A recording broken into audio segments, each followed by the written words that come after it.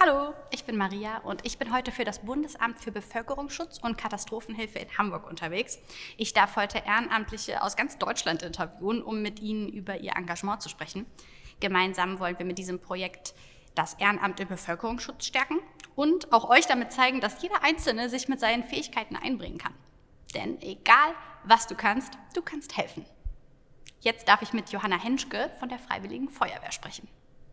Erzähl mir doch gerne erstmal, wie war dein Weg ins Ehrenamt eigentlich? Also es ging bei mir schon ganz, ganz, ganz früh los. Mein Opa war schon Berufsfeuerwehrmann, hat uns da schon sehr viel mitgegeben. Und als mein Bruder dann mit zehn in die Jugendfeuerwehr Nordhof eingetreten ist, habe ich gesagt, das will ich auch.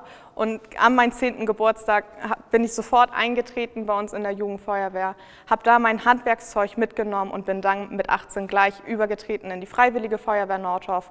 Und seitdem bin ich da und verrichte da meinen Dienst. Welche Aufgaben übernimmt die Freiwillige Feuerwehr? Ja, also wenn man Feuerwehr hört, denkt man natürlich als allererstes an Feuerlöschen. Natürlich, das gehört auch immer noch mit zu unseren Hauptaufgaben, ähm, aber es ist sehr, sehr viel dazugekommen. Ich bin nun in einer sehr großen Freiwilligen Feuerwehr. Wir sind auch eine Hilfeleistungswehr, sprich wir haben auch ein Stück von der Autobahn. Wir rücken aus zu Verkehrsunfällen, zu technischen Rettungen. Die Katze auf dem Baum hatten wir auch letztens erst. Türöffnung, also wir haben auch einen ganz, ganz großen technischen Bereich, einfach den wir mittlerweile abdecken müssen. Und es ist nicht mehr nur noch einfach die einfache Brandbekämpfung, sondern tatsächlich auch ein sehr großes Spektrum rundherum geworden, was die technische Hilfe angeht. Was bietet deine Arbeit im Ehrenamt bei der Freiwilligen Feuerwehr im Kontrast zu deinem Bürojob? Auf jeden Fall diese ganze technische ähm, Basis. Also ich arbeite einfach mit Geräten, die würde ich sonst privat wahrscheinlich nicht mal kennenlernen. Also was Trennschleifer, Schere, Spreizer, um Autos aufzuschneiden. Also allein die Schiene ist schon Welten von meinem Bürojob entfernt. Und natürlich auch Atemschutzgerät tragen, diesen Gewicht und dieses Auspowern. Ich brauche kein Fitnessstudio. Ich habe mein Fitnessstudio immer in der Feuerwehr.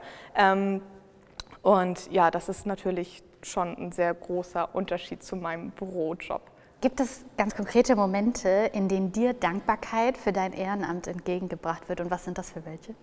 Also ich war einmal bei einem schweren Verkehrsunfall ähm, innerer Retter, sprich ich wurde in einem verunglückten Auto reingesetzt zu einer jungen Frau. Ich habe sie die ganze Zeit betreut und mit ihr gesprochen, ihr alles erklärt, was wir machen. Ähm, ja, ein paar Monate später habe ich sie tatsächlich zufällig beim Einkaufen getroffen und sie hatte gehört, wie ich mich unterhalte und sagte, ich kenne sie, ich kenne sie ganz genau. Und da sind wir dann ins Gespräch gekommen, sind dann darauf gekommen, dass sie diese Verunfallte war, ich die im Auto. Und dann hat sie nochmal gesagt, vielen, vielen Dank. Und das war für mich auch tatsächlich was sehr Besonderes, einfach auch mal direkt wieder von einem, einem ja, Opfer, man muss es ja so sagen, wieder was persönlich zu hören. Und ähm, das war schon besonders. In welchen Momenten oder auch Reaktionen fällt dir auf, dass das heutzutage noch was Besonderes ist? Für mich der schönste Moment war, vor Corona-Zeiten gab es ähm, so einen Tag der offenen Tür im Kindergarten meiner beiden Mäuse.